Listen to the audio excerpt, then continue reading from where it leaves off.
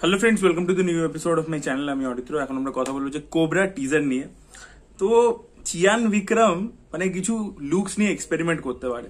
প্রথম হচ্ছে তামিলে মানে তামিল সিনেমাতে কামাল স্যার লুকস নিয়ে মারাত্মক এক্সপেরিমেন্ট করে। সেটা আপনি চাচি চারশো বিশ দাও সাবতারম, এই সিনেমাগুলো দেখলে বুঝতে পারবেন বা ইন্ডিয়ান দেখলে বুঝতে পারবেন যে কি ধরনের। এবং প্রথম প্রস্থেটিক মেকআপ নিয়ে উনি এক্সপেরিমেন্ট করেছিলেন এবং তারপরে, কামাল হাসানের পরে যদি কেউ সেই এক্সপেরিমেন্টটা করে থাকে দ্যাট ইজ বিক্রম। সেটা আপনি অপরিচিত দেখুন। বা কণ্ঠাস্বামী দেখুন বা আই দেখুন, সব সিনেমাতে কিন্তু লুকস নিয়ে প্রচুর প্রচুর প্রচুর এক্সপেরিমেন্ট রয়েছে। সিনেমা ভালো না হলেও কণ্ঠাস্বামী সিনেমাটা যেন আমার সেরকম খুব একটা ভালো লাগে না বাট বিক্রম এক্সপেরিমেন্ট কিন্তু করা বন্ধ করেনি। এবার আমরা দেখেছি অনেক সময় হয় যে বিক্রমের এই এক্সপেরিমেন্ট করা চক্করে অনেক সময় হয়তো প্লট লাইনগুলো খুব অ্যাবসার্ড হয় বা খুব একটা ভালো হয় না, এরকম আগেও হয়েছে, হয়তো ফিউচারেও হবে। এটার ক্ষেত্রে কি হবে জানি না বাট প্রমিসিং এই কারণে মনে হচ্ছে কারণ এই ডিরেক্টরের আগের দুটো সিনেমা খুবই ভালো।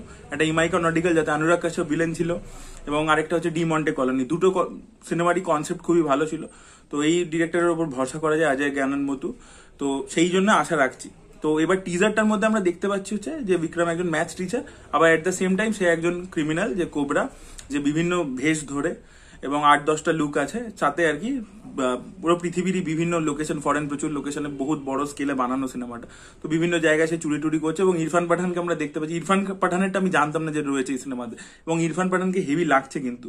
এবং ইরফান পাঠান খাটান পাঠানের গলাটা তার নিজের নয়, ওটা ডাব করা, বুঝতেই পারলাম। কিন্তু তাকে বেশ ভালো লাগছে। আমি জানি না সিনেমাতে কীরকম অভিনয় করবে।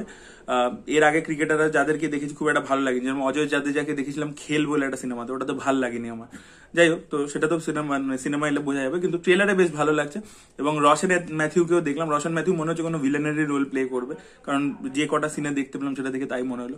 এবার এই বিক্রম হচ্ছে একদিকে ম্যাথসের টিচার অ্যাওয়ার্ড ট্যাওয়ার্ড পাচ্ছে, আবার অন্যদিকে এরকম একজন ক্রিমিনাল আর কি। পুলিশদের জন্য কিছু ক্লু টুও ছাড়ছে এবং এইসব পুরো ইন্টারন্যাশনাল কিছু রবারি টবারি করছে। এবার কেন করছে, এর পিছনে কি মোটিভ আছে, কি ব্যাপার, সেগুলো তো সিনেমা এলে জানা যাবে। প্লটটার ব্যাপারে আমরা খুব একটা বুঝতে পারি না, কিন্তু বেশ ইন্টারেস্টিং লাগছে ওভারঅল দেখে। ভিজুয়ালস অসাধারণ সিনেমাটোগ্রাফি বলুন বা যে স্কেলে বানানো হয়েছে সেটা অ্যাকশন অ্যাকশন ওই যে একটা সেই বৃষ্টির মধ্যে অ্যাকশন দেখতে পাচ্ছি সেইগুলো খুব ভালো লাগছে। শ্রীনিধি শেট্টিকে দেখলাম এবং শ্রীনিধি শেট্টির ওই দু একটা গ্লিমস আছে। আমার তো মনে হলো ওই লাভ ইন্টারেস্ট টাইপেরই থাকবে। খুব একটা তার ইম্পর্টেন্ট রোল প্লে হবে না মানে প্লে করবে না। মেন ফোকাসটা বিক্রমের উপরই থাকবে। এবং সেটা most of the Tamil cinema হয়ে থাকে মেন স্ট্রিম সিনেমাতে কিন্তু লুক এবং আরও একটা জিনিস যেটা প্রশংসা না করলে নয়, সেটা হচ্ছে এর বিজিএম টিজারের বিজিএমটা আউটস্ট্যান্ডিং ছিল। এয়ার এমন দারুণ একটা বিজিএম দিয়েছে। এবং ওভারঅল মিলিয়ে টিজারটা একটা মাইন্ড ব্লোয়িং টিজার হয়েছে। সেটা মানে লুক মানে লুক ওয়াইজ হোক ভিজুয়ালস ওয়াইজ হোক, বা মানে যেটা আমি, যেটা বললাম প্রথমে মেকআপ নিয়ে বললাম। এবং প্রমিসিং আইডিয়া লাগছে। বেশ অন্যরকম একটা কনসেপ্ট লাগছে। ম্যাথামেটিক্স এর কথাটা বারবার বারবার বলা হয়েছে। আপনি টিজার জুড়ে বুঝতে পারবেন সেটা। তো কীভাবে এর এই সবের মধ্যে ম্যাথসটাও ঢুকছে, সেটাও দেখার মতো একটা বিষয়। তো সব মিলিয়ে আমার কিন্তু বেশ মানে দারুণ লেগেছে। মানে বেশ দারুণ কি বলব, ব্যাপক লেগেছে আর কি। সো আপনাদের কি রিয়াকশন আমি আমি ভেরি শিওর প্রত্যেকেরই ভালো লেগেছে। সো কমেন্ট করে জানান যে আপনাদের কি রিয়াকশন আর যারা এখনও দেখেনি, দেখে ফেলুন কোবরার টিজার এবং তারপরে আপনাদের কীরকম মতামত সেটা জানাবেন। আর আমার ভিডিওটা ভালো লেগে থাকলে লাইক করুন শেয়ার করুন চ্যানেলটি সাবস্ক্রাইব করতে ভুলবেন না। Bye bye